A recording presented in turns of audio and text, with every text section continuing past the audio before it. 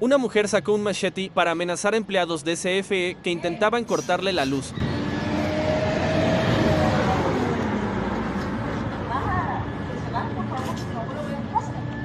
Intentó agredirlos, pero tropezó y se rompió el brazo.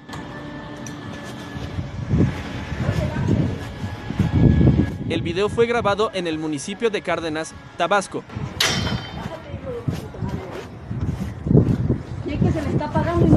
Trabajo ustedes. Vale, va- bájalo, bájalo. De tu puta madre. ¡Mi brazo! ¡Mi brazo, mi derecho! ¡Ah, papá! Solita se cayó. Soli- no, solita se cayó ella.